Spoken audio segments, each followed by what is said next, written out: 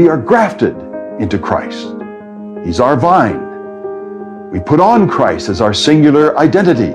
For us, even now, to live is Christ alone. Even so, from the hour of our salvation, the Father has treated each of us as if Christ were us and we were Christ. And that's why the Father longs to lavish on us every spiritual blessing already poured out on His Son. We in ourselves do not possess anything.